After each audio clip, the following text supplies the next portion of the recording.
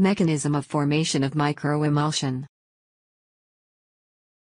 Microemulsion is a clear, thermodynamically stable and isotropic system containing oil, water, surfactant and sometimes co-surfactants.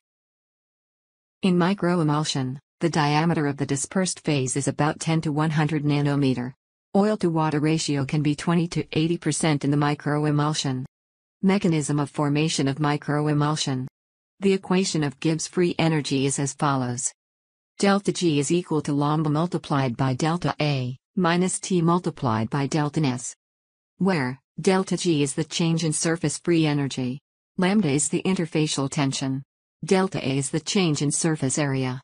Surface area will increase with decrease in droplet size. T is the temperature. Delta S is the entropy of mixing. For the spontaneous formation of microemulsion, delta G should be negative. The interfacial tension is reduced by surfactant and co-surfactant to a very low level, but it has some positive value. The increase in surface area has a very large value because reduction in droplet size increases surface area. So, the product of interfacial tension and increase in surface area will be very large. Now, changes in entropy of mixing should be very large to overcome very large positive value of the product of interfacial tension and delta A in order to bring the net value of delta G negative. Requirement of surfactant and co-surfactant system for microemulsification. 1. They should lower interfacial tension to a very low value. 2. They should have suitable HLB value to provide the relevant curvature as per the type of microemulsion.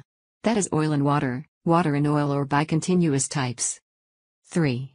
They should provide a flexible film that can readily deform around small droplets. Most single-chain surfactants do not lower the interfacial tension adequately to form microemulsions. They require support of short to medium chain length alcohols as co-surfactants. Acceptable microemulsions can be prepared from double-chain surfactants by using acceptable co-surfactants. Thanks for watching. Subscribe for more videos.